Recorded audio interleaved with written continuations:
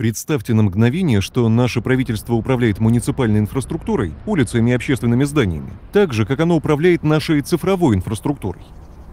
Парламент работал бы в арендованном помещении, где ему запрещено предлагать более строгие законы об охране природы, потому что владелец, транснациональная корпорация, не допускает таких обсуждений в своем здании. Не позволит она и давно необходимое расширение, чтобы здание вмещало более 500 делегатов. Это значит, что некоторым депутатам придется остаться снаружи, на улице. А в паре кварталов отсюда абсолютно новый спортивный комплекс уже сносят всего через полгода после строительства. Его заменяют точно таким же с огромными расходами на строительство. Единственное отличие – новая функция в виде баскетбольного кольца снаружи. Тем временем, каждую ночь через черный ход в мэрии идет утечка документов с конфиденциальной информацией, от данных банковских счетов до медицинских карт. Но никто не может ничего с этим поделать, потому что подписанное пользовательское соглашение запрещает поиск и устранение уязвимых мест. И как бы абсурдно это ни звучало, когда дело касается нашей цифровой инфраструктуры, такой как компьютерные программы, которыми государство пользуется ежедневно, именно так все и происходит. Потому что чаще всего наше правительство закупает несвободное программное обеспечение.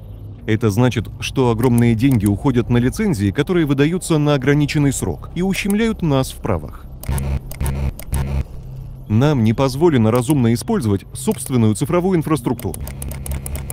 А так как исходный текст несвободных программ обычно является промышленной тайной, находить уязвимости или специально заложенные лазейки крайне сложно и даже противозаконно.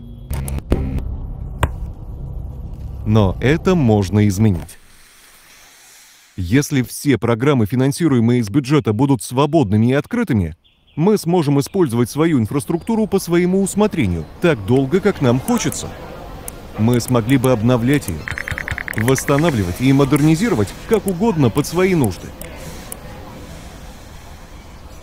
А поскольку свободные программы означают, что их исходный код доступен для чтения всем, искать и устранять уязвимости безопасности намного проще.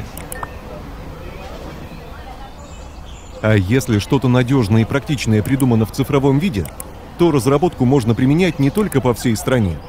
Ее можно внедрять где угодно, даже в мировом масштабе. Отличный пример – программа Fix My Street.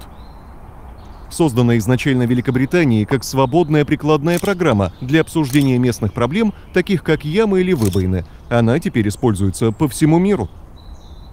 Это приносит пользу всем, потому что новые функции и доработки доступны каждому. Если бы все наши программы разрабатывались так же, мы перестали бы мучиться с ограничивающими лицензиями и могли бы начать думать о том, где и как программное обеспечение может помочь нам. Мы могли бы заняться улучшением общества, в котором живем.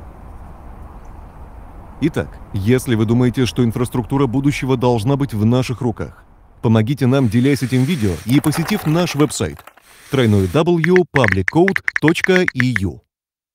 Пора выдвинуть требования. Бюджетные деньги? Открытый код.